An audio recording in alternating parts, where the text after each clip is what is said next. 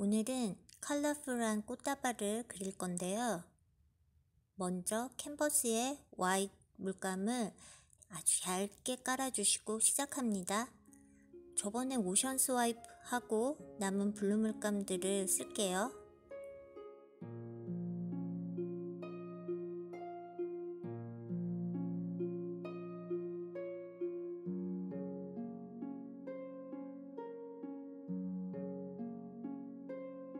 와우 벌써 실리콘 오일을 넣은 블루 칼라라 그런지 셀이 팡팡 터지네요. 좋아요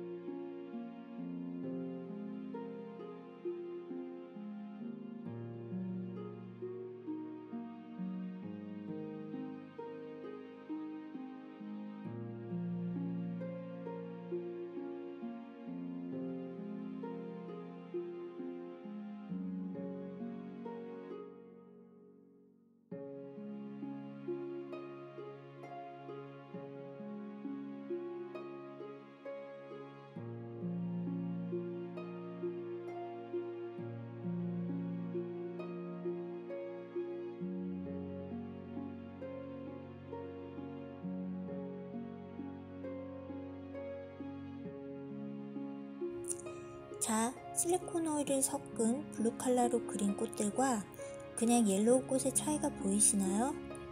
다양한 질감이 더 조화롭네요.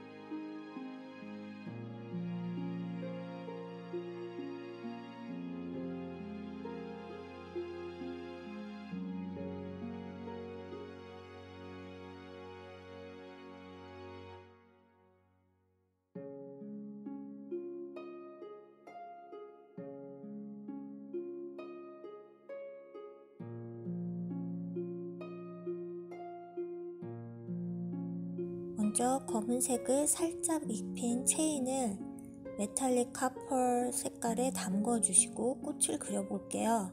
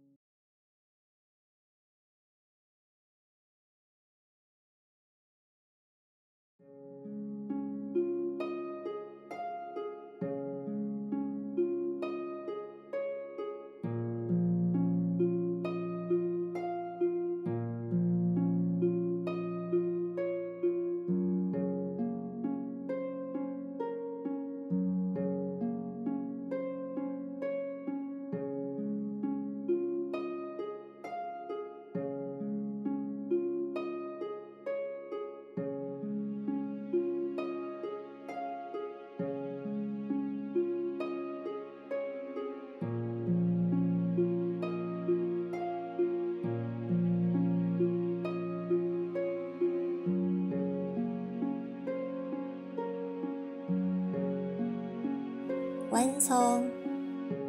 가까이서 볼게요.